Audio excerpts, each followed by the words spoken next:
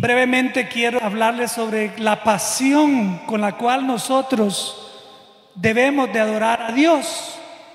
¿Qué es adoración? Es la pregunta. Bien, yo te voy a decir bien rápido y fácil qué es adoración. Adoración es tú. Tú tienes que ser una adoración para Dios. Entonces, ¿qué? ¿Qué es adoración? Tu vida, tus actividades, lo que tú haces, tu profesión, donde te mueves, tendría que ser una adoración. Si acaso no lo está haciendo, tú tienes la misericordia de Dios para comenzar a hacerlo a partir de hoy. ¿Cuántos van a hacerse una introspección para revisar si están siendo adoradores?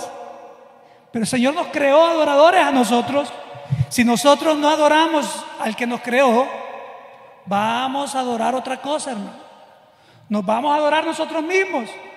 Vamos a adorar la creación y no al creador. Nosotros fuimos creados para adorar a Dios, a nuestro Dios Padre, Dios Hijo, Dios Espíritu Santo.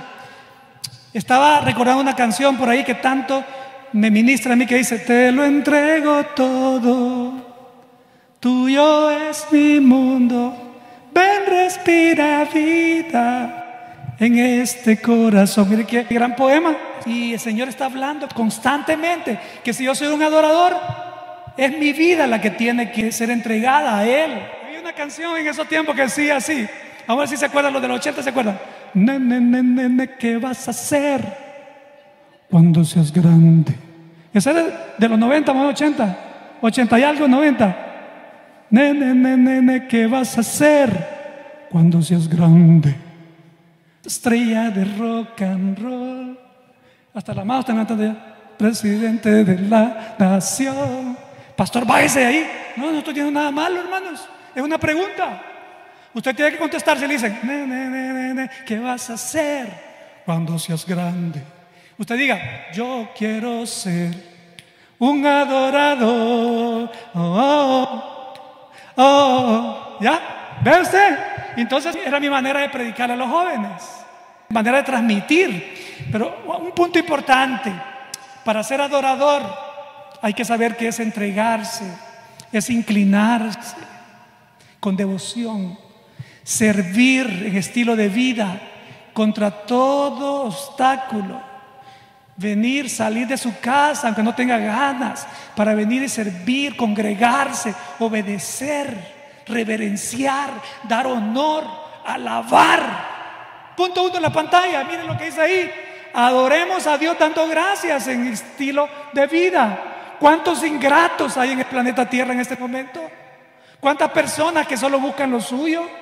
¿Cuántas personas que ya cubrieron la cuota y siguen trabajando más y se olvidan de Dios? ¿Cuántas personas van para allá corriendo para todos lados y tú los detienes y les dices, ¿para dónde vas? A saber, pero yo voy corriendo. Nadie sabe para dónde va. Porque se han olvidado de que lo más importante es lo más importante es Dios.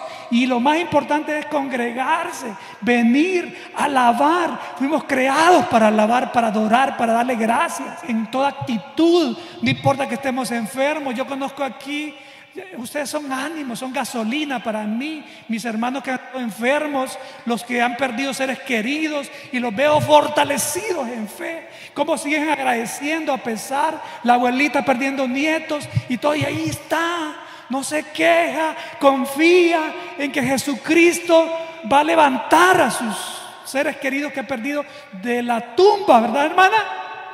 Lo mismo, ¿verdad, hermanita? Su hijo, que tanto amamos, que, que estaba entre nosotros. Y así es, tú tienes que ser agradecido en todo tiempo, en todo momento. Pablo escribe al pastor Timoteo, le dice, en los postreros días habrá gente ingrata Ten cuidado con ellos. Solo se van a ocupar de sus cosas. No tendrán tiempo para Dios. ¿Han escuchado ustedes cuando alguien le hace un favor? ¿Han visto que las personas en vez de decir gracias, no dicen nada, solo se quedan? Reciben lo que le está dando. ¿Qué? ¿Han escuchado tanta gente que no dice gracias? Gente que no tiene gratitud. ¿Los han visto ustedes? Y aún peor, han visto a personas que cuando usted le hace un favor dicen, ya era tiempo, ya era tiempo, ¿sí? Llegaste tarde, era para ayer. ¿Qué pasó? En vez de decir gracias, gracias, Dios quiere un corazón lleno de gratitud en este lugar. Sean vuestras costumbres sin avaricia, dice Hebreos 13:5, contentos con lo que tienen, estén siempre contentos. Oren en todo tiempo, no alejen de ustedes el Espíritu Santo, dice el 19 de 1 Tesalonicenses 5:18. Y mire hoy lo que dice la pantalla. 1 Tesalonicenses 5:18. Miren lo que dice, sean agradecidos en toda circunstancia, pues esta es la voluntad de Dios para ustedes, los que pertenecen a Cristo Jesús. Dios en su palabra dejó plasmado los secretos para que nosotros seamos exitosos aquí y allá, contentos con el sustento y el abrigo, dice 1 Timoteo 6:8, entren a sus atrios agradecidos, dice, refiriéndose al, al tabernáculo, para entrar al tabernáculo donde estaba la presencia de Dios en el pueblo de Israel, tenía que pasar usted por los atrios primero. Y dice, entrad a sus atrios con agradecimiento, dice el Salmo 104 Ve al punto 2. Punto 2 dice, adoremos a Dios. Alabando en estilo de vida. Mire, cuando yo hablo estilo de vida, ¿sabe a qué me refiero? Hábitos. Estilo de vida es hábitos, no es disciplina. Para mí no es una disciplina venir a la casa de Dios. Para mí es un hábito. Me ahogo si no vengo. Oro al Espíritu Santo que cada uno de ustedes se desespere si no viene. ¿Me dan permiso? Ya lo hice de todos modos. Oro para que usted tenga hambre y sed de Jesucristo, de la presencia de Dios. Hermano, pero ¿cómo nosotros alabamos aquí? Un grito de júbilo. ¡Ah! Un aplauso. No aplaude con ganas con ganas para Dios, para Jesucristo. Mire mi hermano y mi hermana, acabamos de pasar el mundial. Oh my God, qué loco para celebrar a esa gente. Esa gente se vuelve, puede estar paralítico. Sucede un milagro por un gol.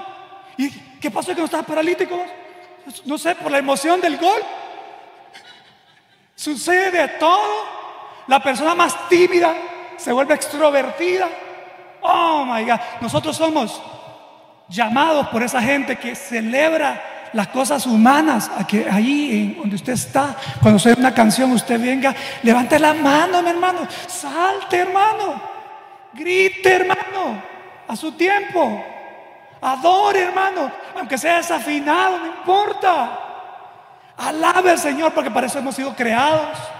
Yo quiero animarle que a partir de hoy usted dé todo para alabar al Señor, no solo aquí en su casa, en el hospital, en la cama. Hay una cita bíblica que dice, alaba a Dios aún en la cama. Dios nos llama en su palabra. Quiero que veamos un video. Págame la luz, por favor.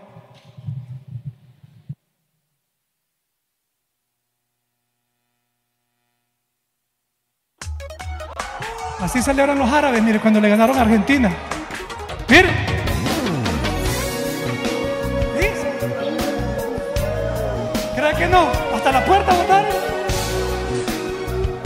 Hay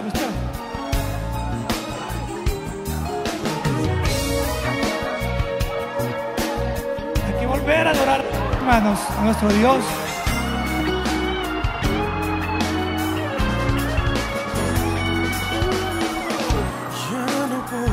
Al más tímido, ¿verdad?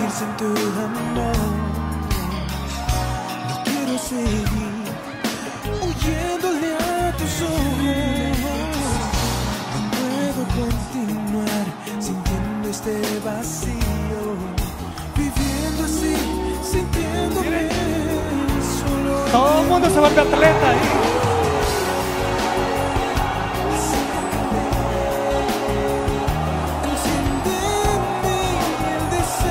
cómo suena después de un gol de Messi la ciudad en Argentina júbilo total. Ah.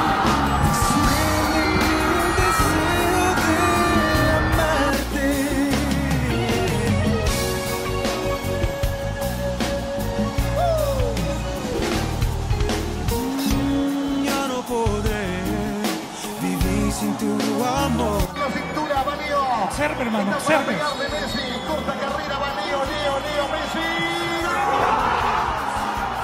Puedo continuar sintiendo este vacío, viviendo así, sintiéndome solo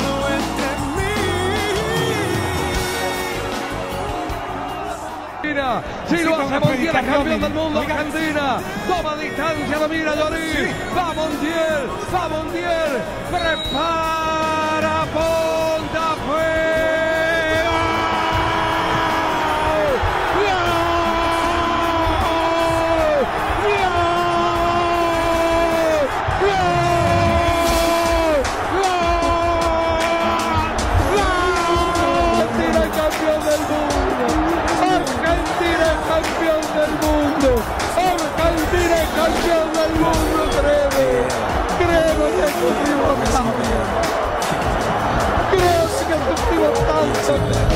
Emociona hasta las lágrimas.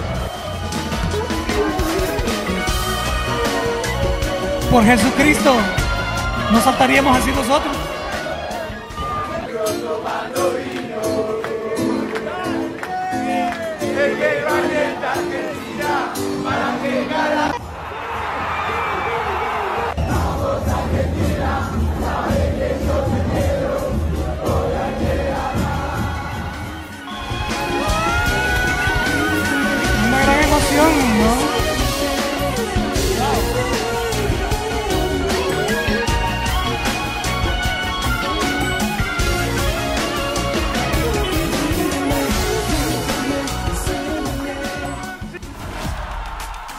Yo quise agarrar este video, me puse eh, ahí antes de acostarme, dije, puede hacer un video. Agarré varios videos y los partí ahí, los puse mire, juntos para poder darle un mensaje a usted, hermano. Primero, si esa gente adora a algo físico, a un simple gol, nosotros celebramos al mejor gol de todos los tiempos que Jesucristo hizo. Amén.